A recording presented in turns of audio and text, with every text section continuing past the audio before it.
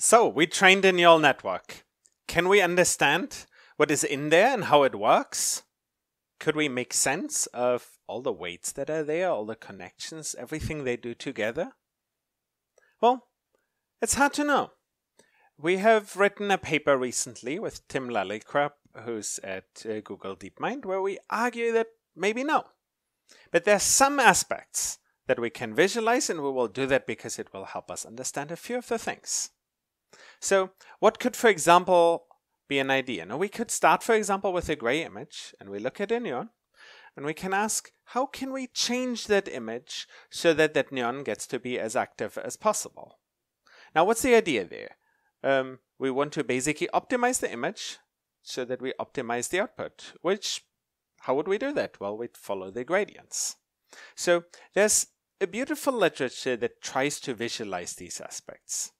And here's, for example, a set of findings from such a study where you can look at very low level features on the left hand side. What is that there?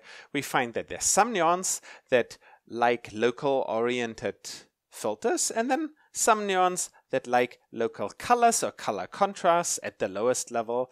Then neurons are most activated by certain curvatures or things like that at the mid level. And as you go towards higher levels, it's almost like we find things like the beaks of birds.